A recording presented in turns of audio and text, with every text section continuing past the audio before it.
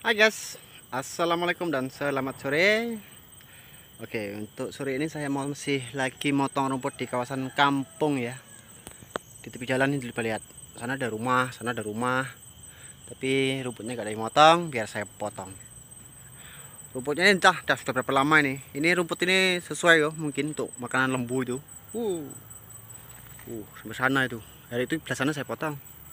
Uh. Oke, saya menggunakan mesin rumput jenis 328 ya, menggunakan mata pisau. Oke.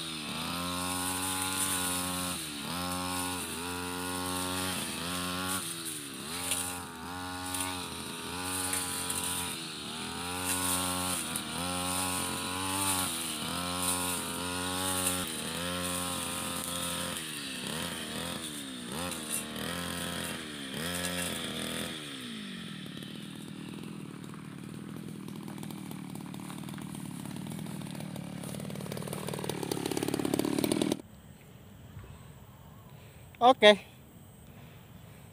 Yang sana itu nantilah sebab ini ada pagarnya kan. Jadi nggak berani lah masuk dalam pagar. Ya. Oke untuk video kali ini cukup sampai di sini. Semoga video ini bermanfaat. Oke insya Allah berkah. Amin ya rabbal alamin